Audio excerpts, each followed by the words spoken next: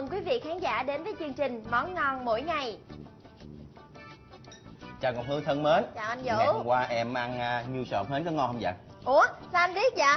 Biết sao không? Ngày hôm qua anh đi công chuyện ngang cầu Thị Nghè đó Anh thấy xe, xe kẹt quá Nhích từng chút từng chút một Nhờ vậy anh mới có cơ hội thấy em ăn hàng đó nha em hả, ngày hôm qua đến nhà nhỏ bạn chơi, Ừ. hai đứa ngồi nói chuyện xong rồi tự nhiên thèm ăn nghêu sọt hến. Thế là dẫn ra chợ thì nghè ăn luôn.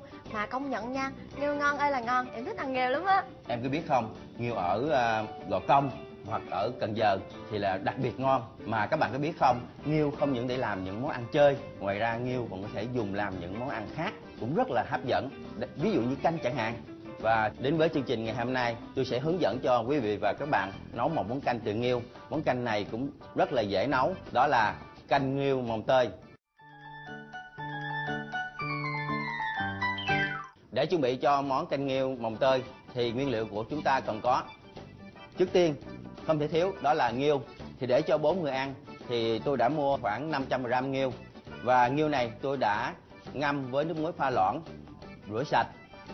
Kế tiếp là rau mồng tơi tôi đã lặt sạch, bỏ gốc già. Chúng ta có xả gừng, hành tím, ớt hiểm bột ngọt, giấm gạo lisa ngoài ra, gia vị của chúng ta còn có muối, tiêu, nước mắm và dầu ăn. Và một nguyên liệu nữa để cho món ăn chúng ta thêm ngọt và đậm đà. Đó là hạt nêm tôm aji ngon để cho bốn người ăn, thì tôi đã cho vào đây khoảng một tô nước lạnh.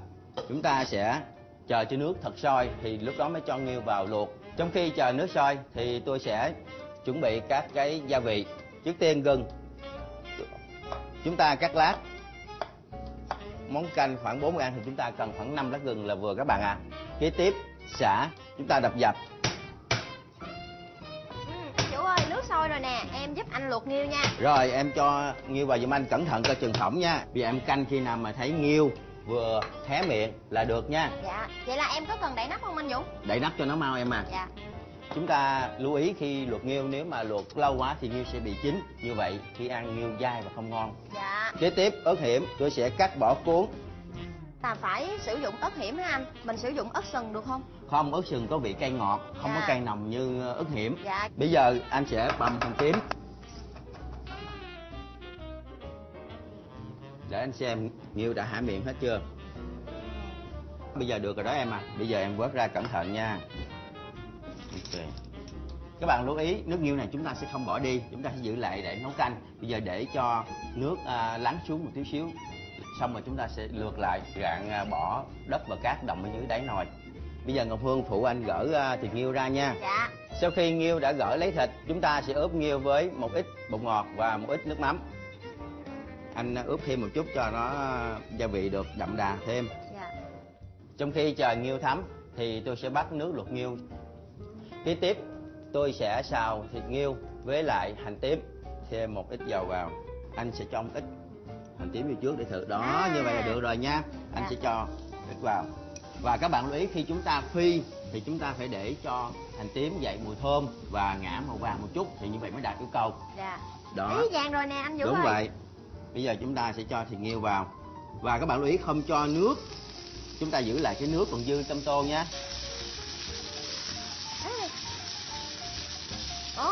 Rồi thơm chúng ta quá, chỉ thơm sóc mùi nước mắm. đúng vậy, chúng ta sẽ sóc nhanh như vậy thôi. Và tắt lửa ngay hả anh Vũ? Đúng vậy. Nghêu chúng ta không nên xào lâu quá, như vậy nghêu sẽ bị quá chín và dai. Sau khi xào xong chúng ta trút nghêu ra để riêng một bên. Rồi bây giờ chúng ta sẽ cho xả, gừng và ớt vào. Kế tiếp chúng ta sẽ nêm nếm gia vị. Tôi sẽ cho khoảng 2 muỗng hạt nêm aji ngon. một muỗng muối và một chút nước mắm.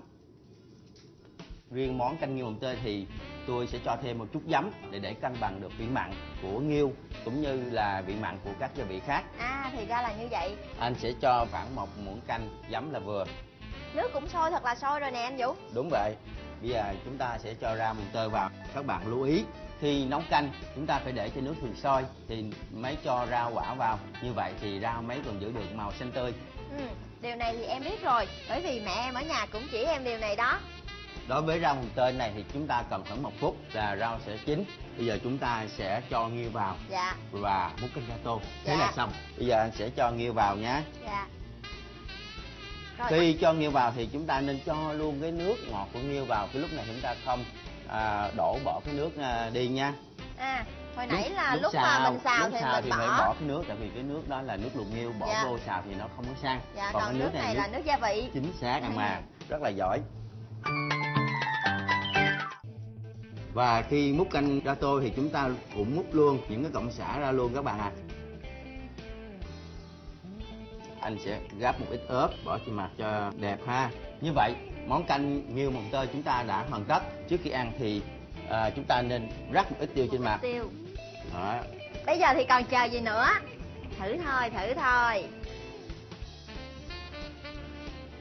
Ừm, nước canh ngon quá nước canh à, là cân bằng được vị à, mặn của nghêu nè mà các gia vị anh nêm nếm nữa. Trời ơi vị ngon chua quá. không? dạ chua nhẹ lắm. Đúng vậy